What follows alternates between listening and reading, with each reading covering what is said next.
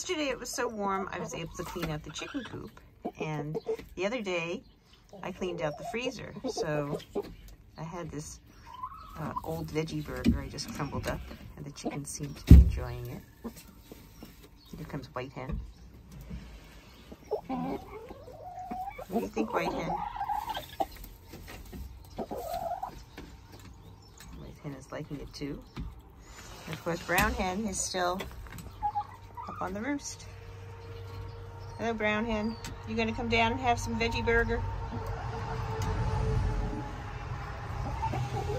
Brown Hen comes down all in her good time.